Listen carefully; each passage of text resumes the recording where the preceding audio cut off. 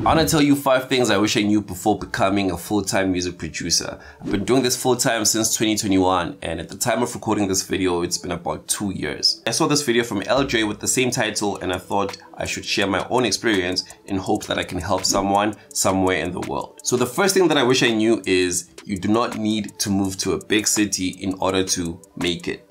Everyone in the early stages of their career believes that the only reason why the music is not picking up is because of their location. They want to move to LA or in my case in South Africa, Johannesburg. That's the first thing I did when I got the chance. I picked up my bags and moved to Joburg. And looking back, I wish someone had set me down and explained to me that there are more struggling artists and producers in a big city than there are anywhere in the world. And if you're struggling to build an audience on the internet, you're going to struggle just as much, if not more, in person. And more often than not, people who'd be willing to pick up their bags and just move to a different city to pursue a music career don't have enough money to get their own apartment, let alone a decent one. I've seen so many messed up situations where it's like six guys sharing the same apartment and they're all trying to make it. And all they do is just make noise and smoke weed the whole day because they think that's the lifestyle.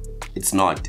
It's not 2006 anymore, so you can start where you are and just build an audience on the internet. The second thing I wish I knew is there's so many ways to make money as a music producer. But again, I didn't know that. I thought that in order to make money as a music producer, I needed to like be this huge famous producer, kind of like Metro Boomin, but I was making dance music, so maybe like DJ Snake or the Chainsmokers. I don't know, but I just thought that I needed to be huge or at least produce for huge artists. So that was my plan when I started making videos on the internet. I just thought that I was gonna make videos and show these people just how talented I am and then these big artists will see me and they'll ask me to produce for them and then I'm gonna become famous and make money. That was my plan. But what actually happened was I posted these videos and I grew an audience of music lovers and other music producers and DJs. And when that happens, what you become is a content creator or influencer, which is a term I hate so much. Anyway, so I started making money from my content and then eventually the sponsorships came in and then now I'm at a point where I don't even produce for other artists or put out music as often and I'm able to have a career in music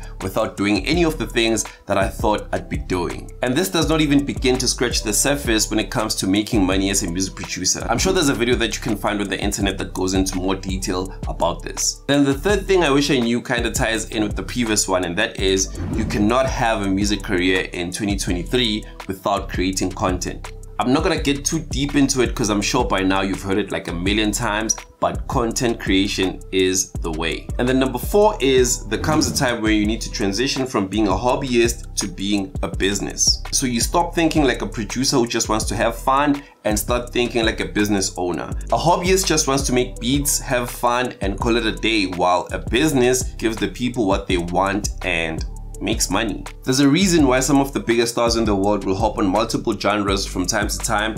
Even when we know that this person is primarily a rapper, they'll do a dance track or do a track that's obviously made for TikTok virality. Right foot up, left foot slide. You don't have to lose your identity or sell your soul, but do hop on a trend if there is one. Ali Abdaal explained this in a way that made so much sense to me and you should watch his videos when you get the chance. He's he's amazing. But basically what he said was imagine having a supermarket and selling what you as the owner likes only. So if you like Cheetos then that means that the whole store is filled with Cheetos and nothing else. There are businesses that have the privilege of operating like this, but for the majority of us, we simply cannot. So you need to research the community and the competition and see what the people want and give it to them. In the context of music, you need to think about the Spotify algorithm, the TikTok algorithm, and just social media in general. And if there's a trend to hop on, just give the people what they want. And the last thing that I wish I knew is the equipment that you use does not matter as much as you think it does. If you're good, you're good. And if you're bad,